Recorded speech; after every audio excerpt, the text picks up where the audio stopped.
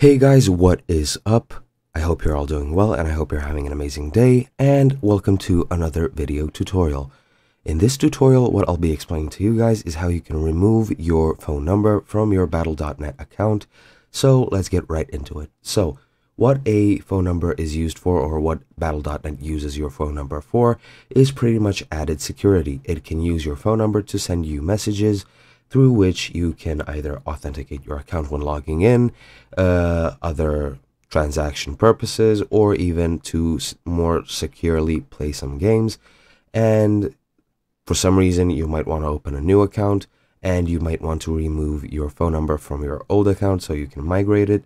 So let me quickly explain how that is done.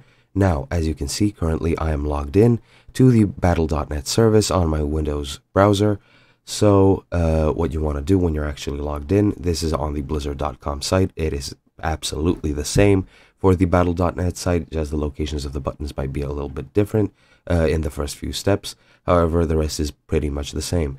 Now, uh, when you're actually logged in, just hover over your name, your account name, and click on account settings. Once you do, you'll be taken to this screen, which is the account overview page. Now, this is the part that looks absolutely the same for both battle.net and blizzard.com. As you can see currently, it's on account.battle.net. Uh, actually, I think my search bar isn't visible, but yeah, the URL is account.battle.net slash overview.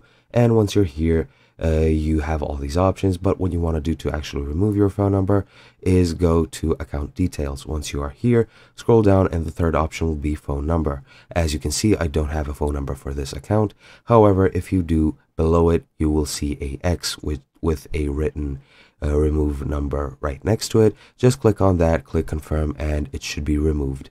Uh, I hope you guys enjoyed, and I hope you found this helpful, and I'll see you guys in another video.